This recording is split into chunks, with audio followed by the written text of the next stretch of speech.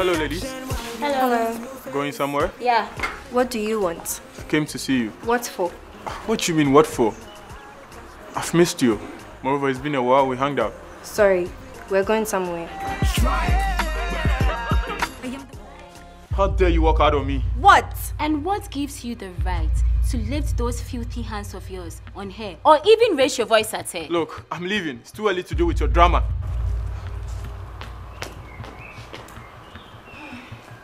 And don't bother coming back because we're done. What? You can't break up with me. And you know that. Well, she just did. Wait, is it because of that lowly driver? That lowly driver is twice the man you are. I would rather be with him than associate myself with someone like you. Want to watch the full 30 minutes of this episode? Download the Farmhouse Movies app on Apple App Store or Google Play Store to pay to watch. Stryke! One chance.